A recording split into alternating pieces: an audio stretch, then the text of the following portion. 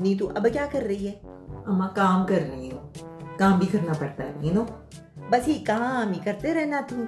हाँ as thirty nine तक पहुँच गई अभी तक सिंगल बैठी है घर में। रजिया जी ने मेरे को एक रिश्ता बताया है। मुंडा बड़ा ही सोना है पाकिस्तान विच रहता है। हाँ उसकी बैंक में जॉब भी है। लालू खेत विच रहता है वो तेरे को बड़ा खुश रखेगा। ये काम वाम छड़ एक दो रोटी बनाना सीख ले ताकि बंदे को खुश तो रख सके।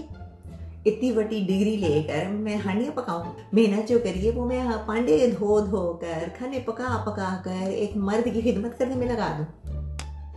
ये डिग्री शिग्री तेरी काम नहीं आनी है अपने बुढ़ापे में। बुढ़ापे में काम आना है तेरा बंदा।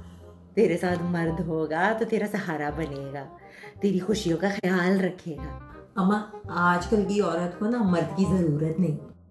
अरे भाई, मैं अपना खुद कमाती हूँ, मुझे क्यों किसी मर के पल्लू बांधना है आपने आप चाहती हो कि मेरी जान चली जाए, आप चाहती हो कि मेरा सुकून खत्म हो जाए, आप चाहती क्या हो? ये क्या बोल रही है, ये क्या बोल रही है? मर के बगैर कैसे रह सकती है? कैसे गुजारेगी इतनी कटन सी ज़िंदगी? वैसे ही तेरी एज निकली जा रही है। मैं क्या करूँ मेरे अल्लाह?